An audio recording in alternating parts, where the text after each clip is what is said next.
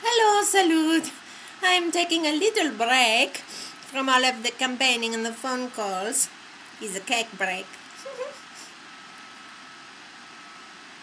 Sometimes I get so tired and so cold and so hungry. I have to have some cake. Oh, that is so much better. Oh, it's a very good cake. Would you like some? Really? Actually, I don't really like to share. It's my cake. Why do I have to share it with you? Oh, all right. Here. Well, actually. Here. This ought to be enough for all of you people in California. I'm just kidding. I don't really want to share.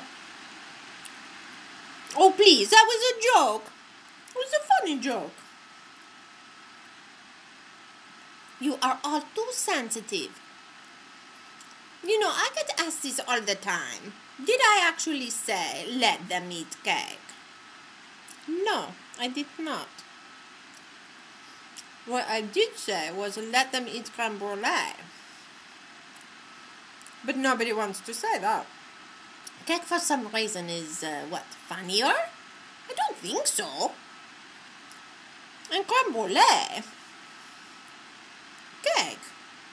Doesn't everybody eat cake every day? But creme brulee. That's a different story altogether.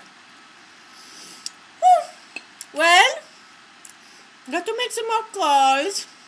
Don't forget to vote.